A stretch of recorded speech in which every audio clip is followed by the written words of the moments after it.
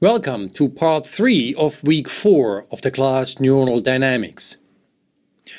I promised that once we have reduced the system to two equations, we can do a lot of things. We can do phase plane analysis. And phase plane analysis can be used to understand spike generation, for example, during pulse input or during constant input. And this is the topic of this part.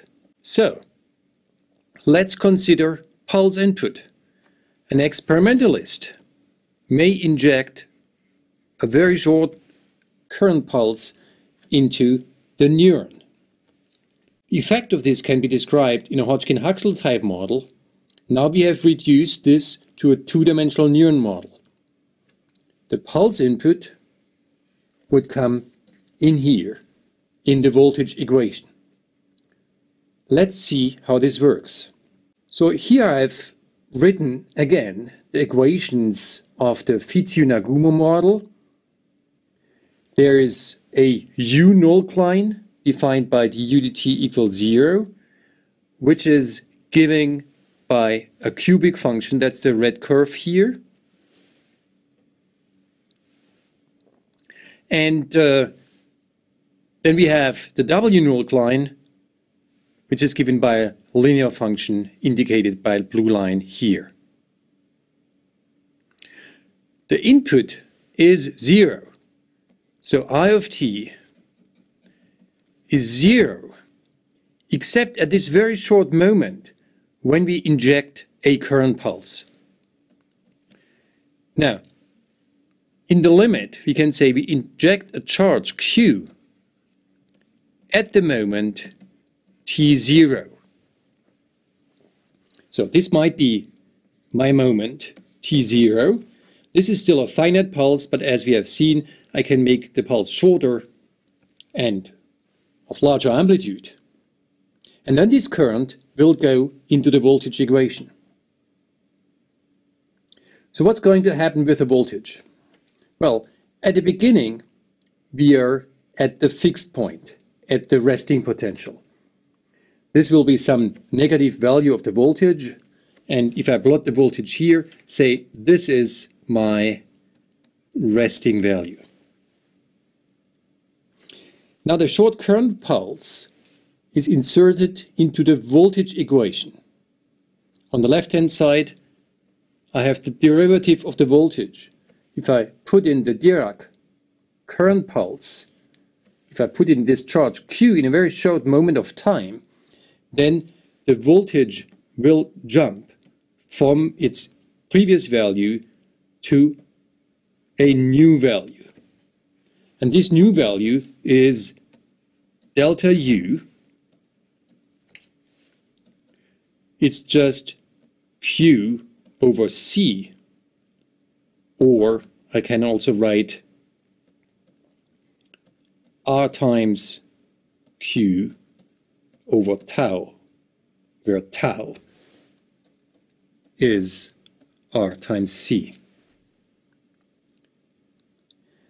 Now in the phase plane, which I have drawn here on the right-hand side, a jump in the voltage means that the value of W, this was W rest, the value of W does not change, but the voltage jumps to a new value, say to a new point here. So the pulse input acts like a jump in the voltage while W remains unchanged. Now, what do we know? Now we are here. Well, we know from the previous part that on the U node line, the flow arrows are vertical, and with a set of parameters that we have considered, the flow would be upward, then it would turn around, and here it's downward.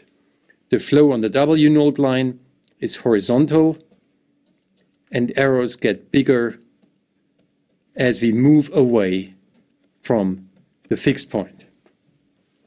Now, in between, there is some mixture of upward movement and leftward movement. So the arrows may look like this. In between here, arrows may look like this.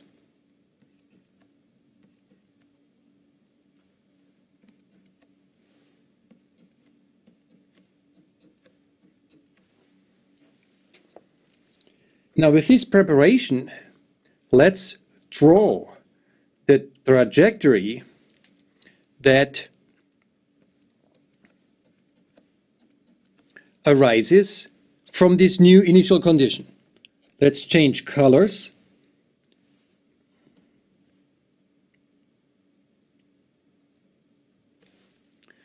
From this new initial condition, the direction of flow will be like this. We continue like this. We know that on the New line it's vertically upward. Then we cannot move too far away because over here we will be pushed leftward. So the flow is probably something like this here. Then we turn around, we move here horizontally, we come down, we come down, and we end up here. So this is what the trajectory will look like.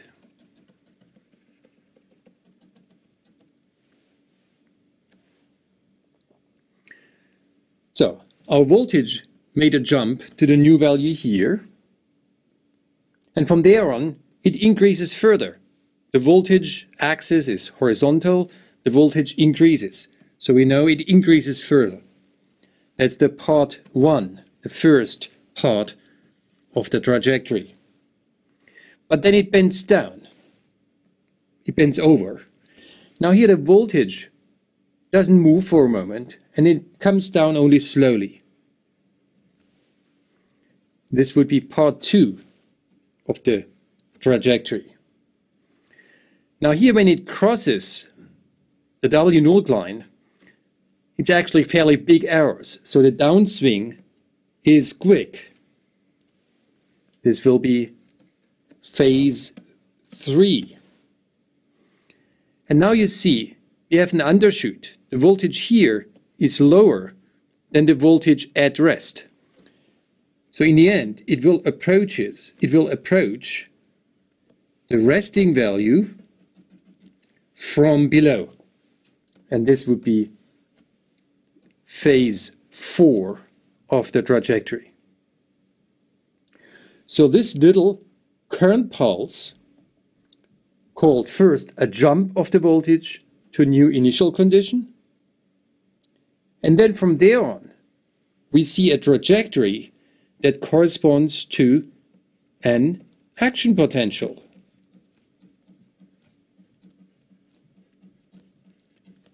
This is the equivalent of an action potential in our two-dimensional neuron model. There's an upswing, there's a time when it stays close to the maximum, then there's a rapid downswing, and then it comes back from below to the resting potential. Well, this was a hand-drawn figure. Here is a computer-generated graph. The resting potential is here. The resting potential is about at minus 1.1. Now, if you give a negative current pulse, the voltage will jump to a new initial condition. And from this new initial condition, it will approach the resting potential with a little overswing, with a little oscillation, and then we are here at the resting potential. Now suppose we give a positive current pulse. From this resting value, the potential would be kicked upwards. It's a horizontal shift to a new starting condition, to a new initial condition. From here on, there will be a slow increase. The size of the arrows is still small.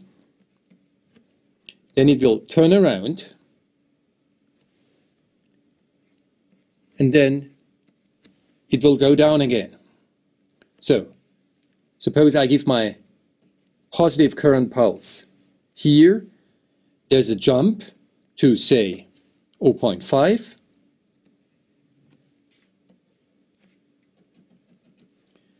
From there on, we move on to a maximum value to about of about 2.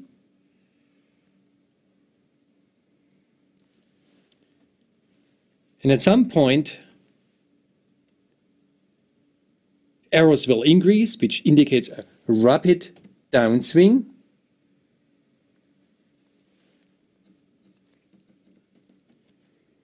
Until here, it will follow. It cannot go far away from this null line because it always pushed back by the nearly horizontal errors.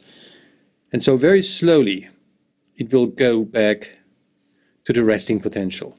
So this part will be slow, this part will be fast. Thus, a pulse input induces a jump of the voltage,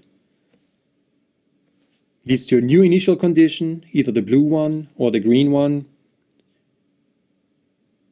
From this new initial condition, we just follow the flow of the arrows, and this gives the voltage trajectory that we are expected to find. Thus, we can understand the generation of action potentials in a two-dimensional neuron model, action potentials will arise if the current pulse is sufficiently large. So this is my initial condition. If I make a large current pulse, the voltage trajectory will look like this. This corresponds to an action potential. This corresponds to a jump followed by an action potential.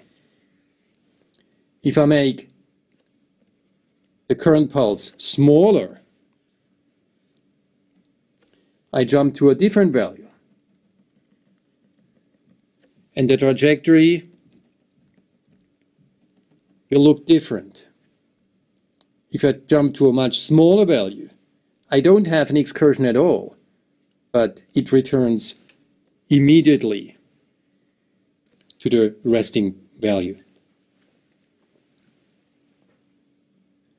Spike generation will occur for large input pulses.